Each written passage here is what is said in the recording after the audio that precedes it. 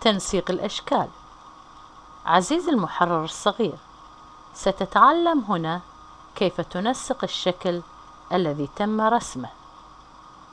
تعبئته بلون معين وتغيير نمطه ولون وعرض الحدود ووضع ظل له وجعله ثلاثي الأبعاد باستخدام الأدوات التالية من شريط أدوات رسم.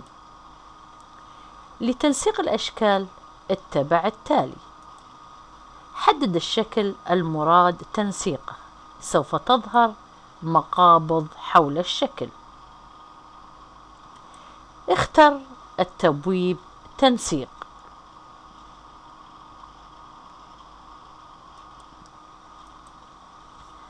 انظر ماذا يحدث لهذا الشكل بعد اختيار أداة التنسيق تعبئة الشكل التي وظيفتها تغيير لون تعبئة الأشكال. الشكل قبل التنسيق. الشكل بعد التنسيق.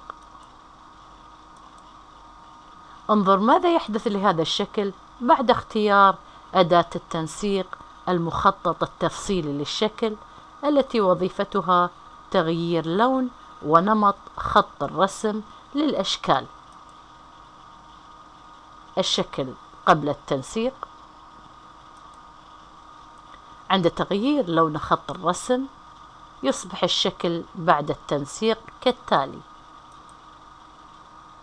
عند تغيير نمط خط الرسم يصبح الشكل بعد التنسيق كالتالي.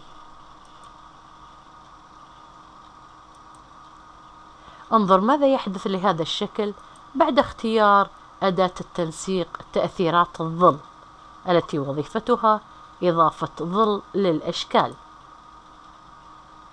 الشكل قبل التنسيق.